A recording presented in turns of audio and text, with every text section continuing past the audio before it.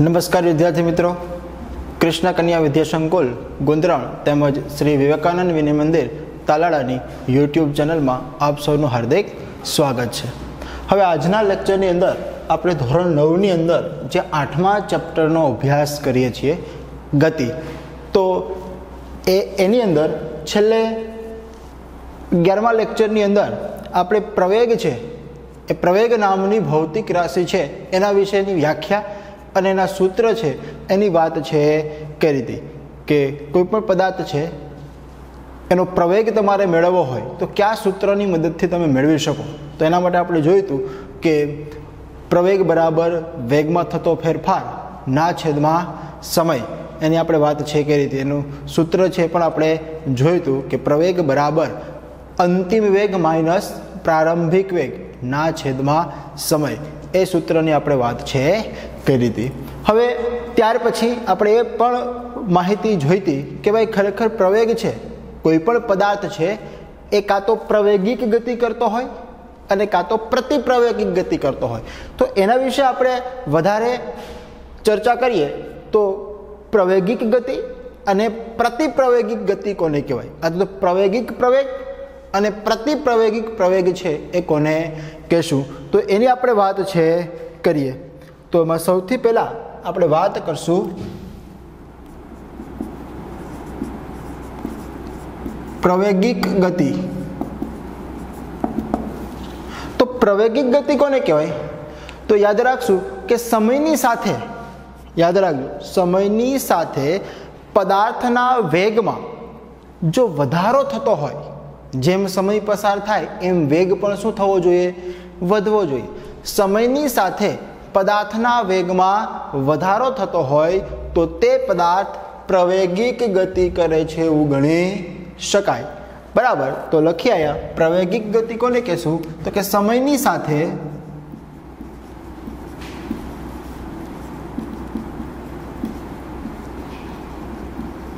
પદાર્થના વેગમાં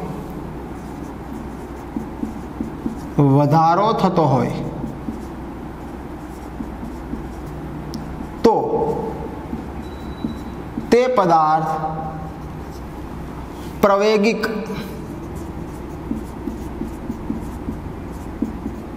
ગતિ કરે છે. સમયની સાથે પદાર્થના વેગમાં શું થવું જોઈએ? વધારો થતો હોવો જોઈએ. અથવા આમ પણ લખી શકાય કે વી વી એટલે શું? તો કે અંતિમ વેગ. ગ્રેટર ધેન યુ મતલબ એવો કે યુ એટલે પ્રારંભિક વેગ અને વી એટલે અંતિમ વેગ. તો પ્રારંભિક વેગ કરતાં, એટલે કે શરૂઆતના વેગ કરતા અંતિમ વેગ વધારે હોય, તો શરૂઆતના વેગ કરતાં અંતિમ વેગ વધારે ક્યારે હોય? તો કે સમયની સાથેના વેગમાં શું થતું હોય? વધારો થતો હોય, તો જ પ્રારંભિક વેગ કરતાં અંતિમ વેગ વધારે મળે. બરાબર? તો વી ગ્રેટર ધેન યુ હોય. તો આનો મતલબ એવો થયો કે અંતિમ વેગ એ પ્રારંભિક વેગ કરતાં વધારે છે. અને યાદ રાખજો કે જ્યારે અંતિમ વેગ કરતાં પ્રારંભિક વેગ ઓછો હોય, તો પ્રવેગનું મૂલ્ય તમને ધન મળશે. અને જ્યારે પ્રવેગ છે એ તમને ધન મળે, તો આપણે એવું કહી શકીએ કે પદાર્થ છે કેવી ગતિ કરતો હશે? તો કે પ્રવેગિક ગતિ તરીકે કરતો હશે. બરાબર? એવી રીતના પ્રતિપ્રવેગિક ગતિ. પ્રતિ પ્રવેગિક ગતિ. તો આમાં શું જોયું આપણે? પ્રવેગિક ગતિની અંદર સમયની સાથે પદાર્થના વેગમાં શું થવું જોઈએ? વધારો. તો અહીં શું આવશે? તો કે સમયની સાથે પદાર્થના વેગમાં શું થતો હોય? ઘટાડો થતો હોય. તો પદાર્થ છે એ કેવી ગતિ કરે છે? વેગ ઘટતો જાય. તો એવી ગતિને કેવી ગતિ કહેવાય? તો કે પ્રતિપ્રવેગિક ગતિ. જોઈએ આપણે લખીએ કે સમયની સાથે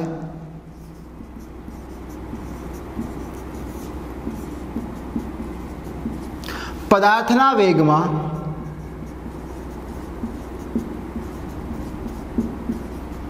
શું થતો હોય પ્રવેગિક ગતિ હોય તો વધારો થતો હોય પ્રતિ પ્રવેગિક ગતિ હોય તો ઘટાડો થતો હોય. તો સમયની સાથે પદાર્થના વેગમાં ઘટાડો થતો હોય તો તે પદાર્થ કેવી ગતિ કરે છે? પ્રતિપ્રવેગી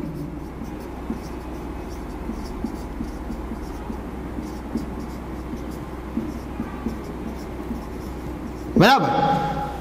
તો અહીંયા શું લખશું? વી ગ્રેટર ધેન યુ લખ્યું તો અહીંયા વી લેસ ધેન યુ લખશું.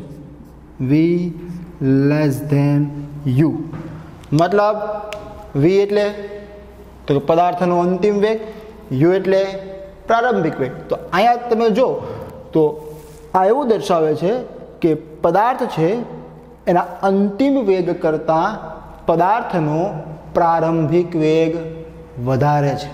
તો એનો મતલબ એવો થયો કે શરૂઆતનો વેગ વધારે હોય અને અંતિમ વેગ ઓછો હોય તો ઓછો ક્યારે થાય? તો કે સમયની સાથેના વેગમાં શું થતું હોય?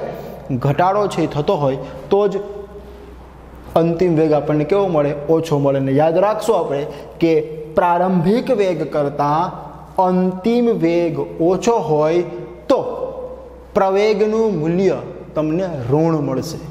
કેવું મળશે? ઋણ. અને યાદ રાખશું આપણે કે જ્યારે પ્રવેગ છે, એનું મૂલ્ય તમને ઋણ મળે, ત્યારે પદાર્થ છે કેવી ગતિ કરતો હોય? તો કે પ્રતિપ્રવેગિક ગતિ કરતો હોય. પ્રવેગનું મૂલ્ય ધન મળે તો પ્રવેગિક ગતિ.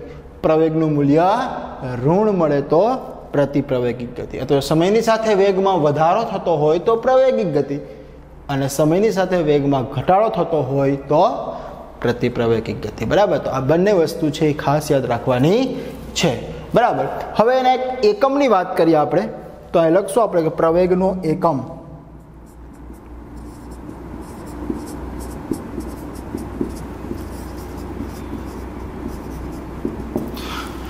તો યાદ રાખશું કે પ્રવેગનો પ્રમાણભૂત એકમ એસા એકમ.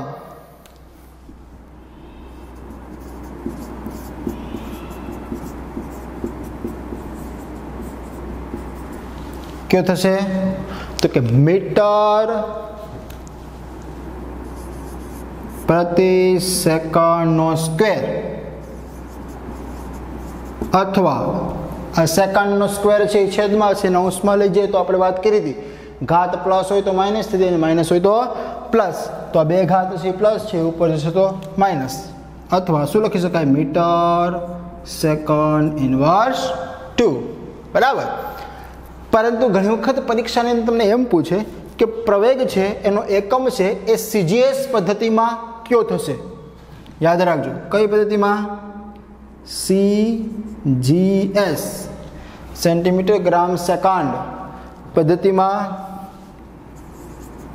એકમ કયો થશે? તો મીટરની જગ્યાએ સેન્ટીમીટર આવશે. સેન્ટીમીટર પ્રતિ સેકન્ડ સ્ક્વેર અથવા સેન્ટીમીટર સેકન્ડ ઇન્વર્સ ટુ. બે વસ્તુ યાદ રાખજો. જો પરીક્ષાની અંદર તમને પ્રવેગ છે એનો એસા એકમ પૂછે, તો મીટર પ્રતિ સેકન્ડનો સ્ક્વેર આવશે. પરંતુ પ્રવેગ છે એનો એકમ કઈ પદ્ધતિમાં? સીજીએસ કઈ પદ્ધતિમાં? સીજીએસ પદ્ધતિની અંદર પૂછે, તો એનો એકમ કયો થશે? કારણ કે સીજીએસ પદ્ધતિની અંદર મીટર ક્યાંય નથી. સેન્ટીમીટર ગ્રામ સેકન્ડ છે. તો એમાં સેન્ટીમીટર આવશે. બરાબર? મીટર નહીં આવે. સીજીએસ પદ્ધતિની અંદર ઘણી બધી પદ્ધતિઓ આવે. એમકેએસ પદ્ધતિ આવે સીજીએસ પદ્ધતિ આવે. બરાબર? તો સીજીએસ પદ્ધતિની અંદર પૂછે તો સેન્ટીમીટર પ્રતિ સેકન્ડનો સ્ક્વેર. તો પ્રવેગિક ગતિ પ્રતિપ્રવેગિક ગતિ અને એના એકમ છે. એની વાત છે કરી. આ ઉપરાંત ઘણી વખત પરીક્ષા અંદર પૂછાય. કે નિયમિત પ્રવેગિક ગતિ અથવા નિયમિત પ્રતિપ્રવેગિક ગતિ કોને કહેવાય? તો યાદ રાખશું કે જો કોઈ પણ પદાર્થ છે, એ સુરેખ પદ પર ગતિ કરતો હોય અને ચોક્કસ સમયગાળાની અંદર, એક સરખા સમયગાળાની અંદર એના વેગમાં ફેરફાર સમાન થતો હોય, એક સરખો વધારો થતો હોય, કારણ કે પ્રવેગિક ગતિની અંદર શું થાય? તો કે પદાર્થના વેગમાં વધારો. તો એક સરખા સમયગાળાની અંદર એક સરખો વેગમાં વધારો થતો હોય તો તેવી ગતિને નિયમિત પ્રવેગિક ગતિ અથવા તો અચળ પ્રવેગિક ગતિ તરીકે ઓળખવામાં આવે છે. એક સરખા સમયગાળાની અંદર એક સરખો વધારો થતો હોય વેગની અંદર. બરાબર? તો એને કઈ કહીશું? તો કે નિયમિત પ્રવેગિક ગતિ કહીશું. એમ નિયમિત પ્રવે પ્રતિપ્રવેગી ગતિ કોને કહેવાય? તો કે એક સરખા સમયગાળાની અંદર એક સરખો ઘટાડો થતો હોય. એક સરખા સમયગાળાની અંદર એક સરખો ઘટાડો થતો હોય તો નિયમિત પ્રતિપ્રવેગિક ગતિ તરીકે ઓળખવામાં આવે છે. બરાબર? આ ઉપરાંત પરીક્ષાને પૂછે કે પ્રતિપ્રવેગિક ગતિ અથવા પ્રવેગિક ગતિ છે એના ઉદાહરણો છે આપો. તો પ્રવેગિક ગતિના ઉદાહરણો ક્યાં આપી શકાય? તો કે આપણે કોઈ વાહન છે ચલાવતા હોય અને એ વાહન છે એક્સિલેટર ઉપર તમે પગ રાખો, તો સ્વાભાવિક છે કે એનો વેગ શું થવાનો છે? વધવાનો છે. આપણે ટુ વ્હીલ હોય કે ફોર વ્હીલ હોય, ની અંદર જતા હોય, તો રસ્તો એકદમ ચોખ્ખો હોય. મતલબ કે કોઈ ટ્રાફિક ન હોય. તો આપણને ખબર છે કે એક્સિલેટર ઉપર પગ આપણે રાખીએ, એટલે સમયની સાથેના વેગમાં શું થશે? વધારો થશે. તો આપણે એવું કહી શકીએ કે પદાર્થ કેવી ગતિ કરે છે? પ્રવેગિક ગતિ. આ ઉપરાંત મુક્ત પતન કરતો કોઈ પદાર્થ હોય. દાખલા તરીકે મુક્ત પતન પોતા જતો દાખલા કે આ માર્કર છે. એને હું અહીંથી છોડી દઉં એટલે સીધું ક્યાં જશે? નીચે જશે. એની પાછળનું કારણ આપણને ખબર છે. કે ગુરુત્વાકર્ષણ બળ છે. તો એ મુક્ત પતન કરતો પદાર્થ છે. આ માર્કર છે કે કોઈ પણ પદાર્થ છે એને હું છોડી દઉં એટલે પોતાની રીતે નીચે જશે. હું એને કોઈ પણ જાતનું બળ આપતો નથી, પણ ગુરુત્વાકર્ષણ બળની અસર હેઠળ એ નીચેની તરફ ગતિ કરશે. તો આવો કોઈ મુક્ત પતન કરતો પદાર્થ હોય તો એ પણ કેવી ગતિ કરતો હોય? પ્રવેગિક ગતિ કરતો હોય. કારણ કે એની અંદર પણ સમયની સાથેના વેગમાં શું થશે? વધારો છે થતો જોવા મળે. તો આ બે ઉદાહરણ અહીંયા રાખી શકાય. પ્રતિપ્રવેગિક ગતિ કરતા પદાર્થના બે ઉદાહરણની વાત કરવામાં આવે. તો શું આપી શકાય? તો કે કોઈ વાહન છે એ જતું હોય, તો એને બ્રેક લગાવવામાં આવે. તો સ્વાભાવિક છે. શું થાય? તો કે સમયની સાથેના વેગમાં ઘટાડો છે એ થશે. તો બ્રેક લગાડો. એટલે પેટલા પહેલાં જેટલી સ્પીડ હતી પહેલાં જેટલો એનો વેગ હતો, એમ ધીમે ધીમે ધીમે વેગ શું થશે? ઘટશે. આપણને ખબર છે કે આપણે ફોર વ્હીલની અંદર કે ટુ વ્હીલની અંદર કે જતા હોય અને આપણે એવું લાગે કે ત્યાં આપણે આગળ ગાડી છે, એ થોભાવી છે, તો શું કરવું પડે? તો કે એનાથી થોડે દૂર હોય ત્યારથી બ્રેક લગાવવું પડે ને? એટલે બ્રેક લગાવો, એટલે શું થાય? તો કે સમયની સાથેના વેગમાં ઘટાડો થાય. તો આપણને ખબર છે કે સમયની સાથેના વેગમાં ઘટાડો થાય તો એને શું કહેશું? પ્રતિપ્રવેગિક ગતિ. બરાબર. આ ઉપરાંત કોઈ પદાર્થ છે એને ઉર્ધ્વ દિશામાં ફેંકવામાં આવે. ઉર્ધ્વ દિશા અને અધો દિશા. આ બે શબ્દો કદાચ તમે સાંભળ્યા હશે કે કોઈ પણ પદાર્થ છે નીચેથી ઉપરની તરફ ગતિ કરે તો એને ઉર્ધ્વ દિશા કહેવાય. અને ઉપરથી નીચેની તરફ આવે તો એને અધો દિશા કહેવાય.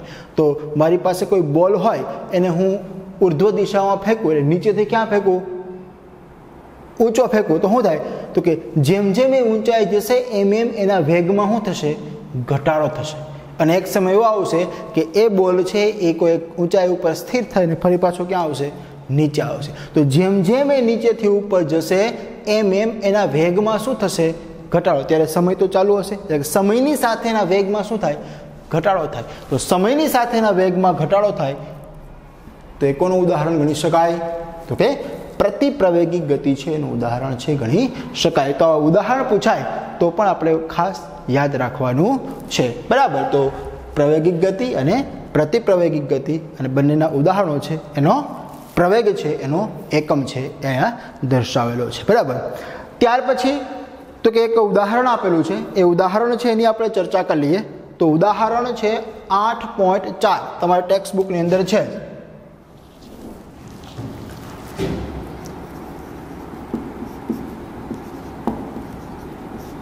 તો જો, એની અંદર રકમની અંદર શું આપેલું છે? તો કે રકમની અંદર કંઈક એવું કીધું છે કે સ્થિર અવસ્થામાંથી એ કોઈ વ્યક્તિનું નામ આપેલું છે, રાહુલ નામનો વ્યક્તિ છે. બરાબર? એ તમને એક્ઝામની અંદર પૂછે તો અહીંયા કોઈ પણ વ્યક્તિ છે એનું નામ છે, આપી શકે. પણ રાહુલ નામનો વ્યક્તિ છે, એ પોતાની સાયકલ છે, એ સ્થિર અવસ્થામાંથી ચલાવવાનું શરૂ કરે છે. પહેલાં એની સાયકલ છે કેવી છે? તો કે સ્થિર છે. તો સ્થિર હોય તો સ્વાભાવિક છે કે એનો વેગ કેવો હશે? તો કે ઝીરો હશે. તો આપણને ખબર જ પડી જાય, બરાબર? તો સ્થિર અવસ્થામાંથી રાહુલ છે એ પોતાની સાયકલ ચલાવવાનું શું કરે છે? શરૂ કરે છે અને શરૂઆતની ત્રીસ સેકન્ડમાં, કેટલી સેકન્ડની અંદર? ત્રીસ સેકન્ડમાં એ છ મીટર પ્રતિ સેકન્ડ જેટલો વેગ પ્રાપ્ત કરે છે. શરૂઆતની ત્રીસ સેકન્ડની અંદર કેટલો વેગ પ્રાપ્ત કરી લે છે? તો કે છ મીટર પ્રતિ સેકન્ડનો વેગ પ્રાપ્ત છે, કરે છે. હવે શું કરે છે? તો કે હવે એ રાહુલ છે એ એવી રીતના બ્રેક મારે છે, બ્રેક લગાવે છે કે ત્યાર પછીની, બ્રેક માર્યા પછીની વાત છે. બ્રેક માર્યા પછીની પાંચ સેકન્ડમાં એનો વેગ છે એ ઘટી. સીધી વાત છે કે છ મીટર પ્રતિ સેકન્ડ જેટલો વેગ પ્રાપ્ત કર્યો છે, હવે બ્રેક લગાવે. એટલે સ્વાભાવિક છે કે એના વેગમાં શું થશે? ઘટાડો. તો બ્રેક માર્યા પછીની પાંચ સેકન્ડમાં એનો વેગ ઘટી અને કેટલો થઈ જાય છે? તો કે ચાર મીટર પ્રતિ સેકન્ડ જેટલો થાય છે. તો આ બંને કિસ્સામાં પ્રવેગ મેળવવાનો છે. તો આપણી પાસે બે કિસ્સા છે. બે કિસ્સા ક્યાં? તો કે બ્રેક માર્યા પહેલાંનો કિસ્સો અને બ્રેક માર્યા પછીનો કિસ્સો. તો બે કિસ્સાની અંદર આપણે શું મેળવવાનું છે? પ્રવેગ છે, મેળવવાનો છે. બરાબર? તો મેળવીએ. જો. તો પ્રથમ કિસ્સાની જો કે રકમ છે તમારી ટેક્સ્ટ બુકની અંદર આપેલી જ છે, એટલે રકમ લખવાની કોઈ આવશ્યકતા નથી. બરાબર? તો સૌપ્રથમ પહેલાં આપણે પ્રથમ કિસ્સો લખશું.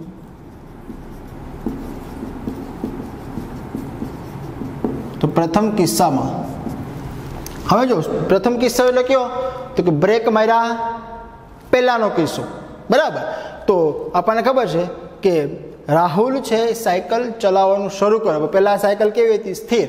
તો એ સાયકલ છે, એનો પ્રારંભિક વેગ કયો છે? તો પ્રારંભિક વેગનું સંજ્ઞા તો કે યુ.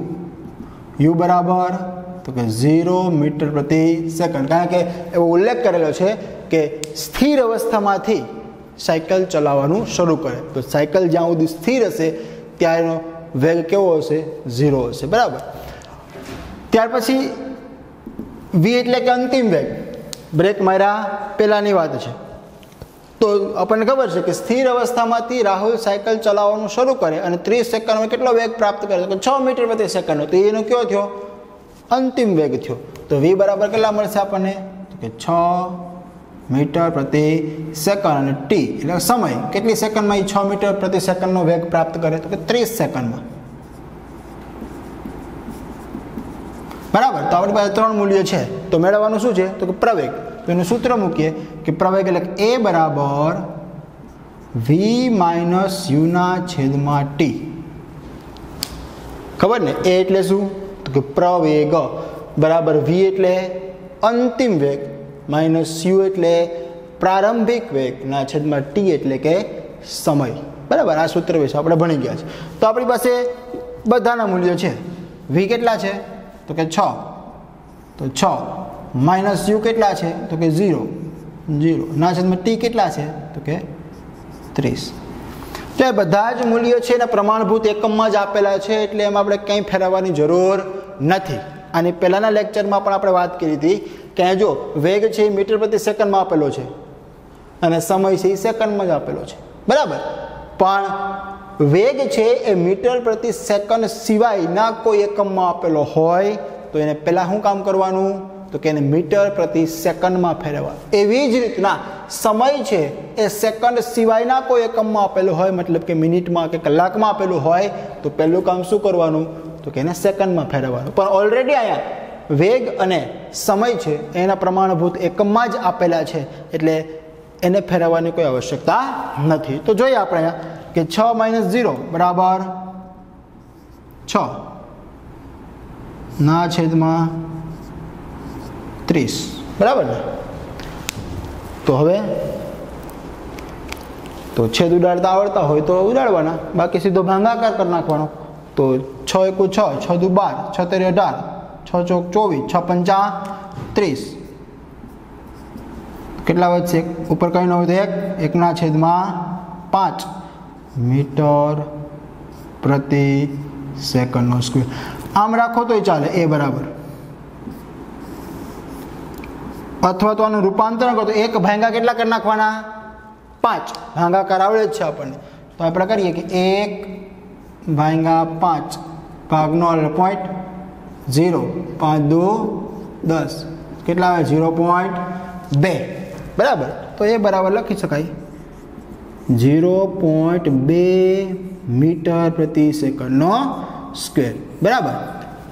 અથવા તો એકના છેદમાં પાંચ લખો, કારણ કે બે વસ્તુ એક અપૂર્ણાંકમાં છે.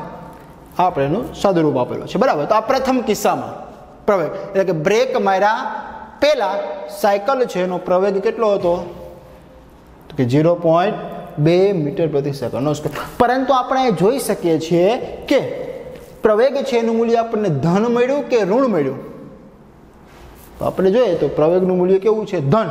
એનો મતલબ એવો થયો કે સાયકલ છે એ પ્રવેગિક ગતિ કરતી હશે કે પ્રતિપ્રવેગિક? તો સમયની સાથે વેગમાં શું થયો? કાંઈ મેં તમને હમણાં જ કીધું હતું કે જો સમયની સાથે વેગમાં વધારો થતો હોય તો એનો પ્રવેગ તમને હંમેશા ધન મળે. અને જો પ્રવેગ ધન મળે તો એ પદાર્થ કેવી ગતિ કરતો હોય?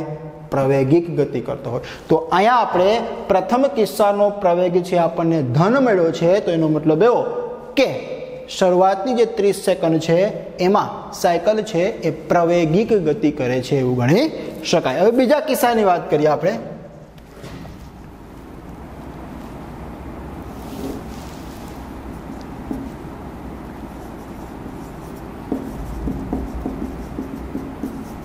બીજા કિસ્સામાં. હવે બીજા કિસ્સાની અંદર એટલે શું? હવે રકમની અંદર જો તો પ્રથમ ત્રીસ સેકન્ડમાં છ મીટર પ્રતિ સેકન્ડનો વેગ પ્રાપ્ત કરી લીધો. હવે એ સાયકલ છે છ મીટર પ્રતિ સેકન્ડના વેગથી ગતિ કરે છે. હવે એ શું કરે છે? તો કે બ્રેક મારે છે. તો બ્રેક મારે ત્યારે એનો વેગ કેટલો હતો? તો કે છ. તો એનો કેવો વેગ થશે? શરૂઆતનો વેગ, પ્રારંભિક વેગ. અને પાંચ સેકન્ડમાં એનો વેગ ઘટી ગયો. કેટલો થઈ ગયો? ચાર મીટર પ્રતિ સેકન્ડ. તો એનો કયો થશે? અંતિમ વેગ થશે. બરાબર? તો યાદ રાખશો અહીંયા કે બીજા કિસ્સાની અંદર, તો બીજા કિસ્સાની અંદર યુ બરાબર તો કે છ મીટર પ્રતિ સેકન્ડ. વી બરાબર ચાર મીટર પ્રતિ સેકન્ડ. અને ટી બરાબર તો કેટલી સેકન્ડમાં વેગ ઘટે છે? તો કે પાંચ સેકન્ડની અંદર. તો ટી બરાબર કેટલા થશે? પાંચ સેકન્ડ. બરાબર? તો હવે સૂત્ર મૂકો પ્રવેગનું. તો એ બરાબર તો સૂત્ર તો એ થશે કે વી એટલે કે અંતિમ વેગ માઇનસ પ્રારંભિક વેગ ના છેદમાં ટી એટલે કે સમયગાળો બરાબર તો બીજા કિસ્સાનો વી એટલે કે અંતિમ વેગ કયો છે તો કે ચાર મીટર પ્રતિ સેકન્ડ માઇનસ યુ એટલે કે પ્રારંભિક વેગ કેટલો છે છ મીટર પ્રતિ સેકન્ડ ના છેદમાં સમય કેટલો છે? તો કે પાંચ સેકન્ડ તો હવે આ બંનેની બાદ બાકી કરો તો ચારમાંથી છ જાય તો બે પણ કેવા? માઇનસ બે. માઇનસ બે ના છેદમાં પાંચ. હવે આનું સાદુરૂપ આપો. તો બે ભાંગા કેટલા કરવા પડશે? પાંચ કરો છે તો બે ભાંગા પાંચ. ભાગ ન હાલે એટલે પોઈન્ટ મૂકશું. ઉપરથી ઉતાર્યું શૂન એટલે પાંચ ચોક વીસ. Zero zero. કેટલા આવ્યા? ઝીરો પોઈન્ટ ચાર. પણ કેવા? માઇનસ છે. એટલે માઇનસ ઝીરો પોઈન્ટ ચાર મીટર પ્રતિ સેકન્ડનો સ્ક્વેર. તો બીજા કિસ્સાની અંદર પ્રવેગ તમને કેવો મળ્યો? તો કે ઋણ મળ્યો. કેવો મળ્યો? ઋણ. કંઈક માઇનસ ચાર ઝીરો પોઈન્ટ ચાર મીટર પ્રતિ સેકન્ડનો સ્ક્વેર મળ્યો ને, તો અહીંયા આપણને પ્રવેગનું મૂલ્ય ઋણ મળ્યું. તો એનો મતલબ એવો કે બ્રેક માર્યા પછી પ્રવેગ આપણને કેવો મળે છે? ઋણ. તો એનો મતલબ કે સાયકલ છે બ્રેક માર્યા પછી કેવી ગતિ કરતી હશે? તો કે પ્રતિપ્રવેગિક ગતિ કરતી હશે. અને આપણને ખબર છે કે પ્રતિપ્રવેગિક ગતિ કોને કહેવાય? તો કે સમયની સાથેના વેગમાં શું થાય? ઘટાડો થાય. તો બ્રેક મારવાથી સ્વાભાવિક છે કે એની ગતિ એના વેગમાં શું થશે? ઘટાડો છે, થતો જોવા મળશે. એટલે બંને કિસ્સાની વાત કરીએ તો પ્રથમ કિસ્સાની અંદર તમને પ્રવેગ ધન મળશે અને બીજા કિસ્સાની અંદર તમને પ્રવેગ કેવો મળશે? તો કે ઋણ મળશે. તો પ્રથમ કિસ્સાની અંદર સાયકલ છે, એની ગતિ છે, એ પ્રવેગિક ગતિ છે. અને બીજા કિસ્સાની અંદર સાયકલની ગતિ છે, એ પ્રત્યે પ્રવેગિક ગતિ છે. તો આમ પણ તમે જોઈ શકો કે પ્રવેગિક ગતિ અંદર વી મોટા હોય ને યુ નાના હોય. તો પ્રથમ કિસ્સામાં પ્રવેગિક ગતિ કરે છે વી મોટા છે, છ છે અને યુ નાના છે જીરો છે. બીજા કિસ્સાની અંદર તમને પ્રવેગ ઋણ મળે. એનો મતલબ કે પ્રતિપ્રવેગિક ગતિ કરે. એમાં વી નાના હોય અને યુ મોટા હોય. એટલે કે વી અને યુમાં તમને ખ્યાલ જ છે. તો વી ચાર, યુ છ. તો વીનું મૂલ્ય ઓછું છે, યુનું મૂલ્ય વધારે છે. એટલે કહેવાનો મતલબ મારે એવો છે કે આવી રીતના દાખલા પૂછાય, તો એની ગણતરી છે એ આવી રીતના છે કરી શકાય છે. તો આજના લેક્ચરની અંદર આપણે અહીંયા સુધી રાખશું. પરંતુ તમારી ટેક્સ્ટ બુકની અંદર જે પ્રશ્નો આપેલા છે હવે પછી આ ઉદાહરણ પછી તમે પ્રશ્નો જોશો, તો એ પ્રશ્નોની અંદર બે દાખલા આપેલા છે. એ બે દાખલા છે તમારે હોમવર્કની અંદર કરવાના છે. એ આવી રીતના જ ગણવાના છે. બરાબર? તો આ ઉદાહરણ પૂરું થયા પછીના જે બે દાખલા છે, એ હોમવર્કની અંદર એની ગણતરી છે કરવાની થશે.